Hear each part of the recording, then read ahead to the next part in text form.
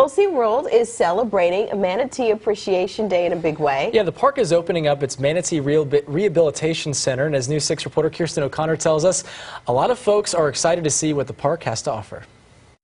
Now, this pool is just one area of the five acre rehabilitation center now open to visitors at SeaWorld. The trainers tell us these two that are in the middle of being cared for could be here from a couple of months to a couple of years.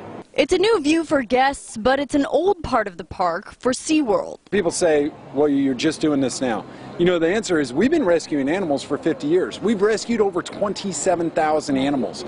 Sick, injured, or lost manatees are identified by Florida Fish and Wildlife and brought to SeaWorld to be seen by animal care teams, veterinarians, and several outside agencies that help nurse them back to health. This isn't always just bringing them in. There's times we use this to return them back out to their natural environment. Representatives tell us showing how they care for animals is one of the first steps in the company's new vision called Turning the Park Inside Out.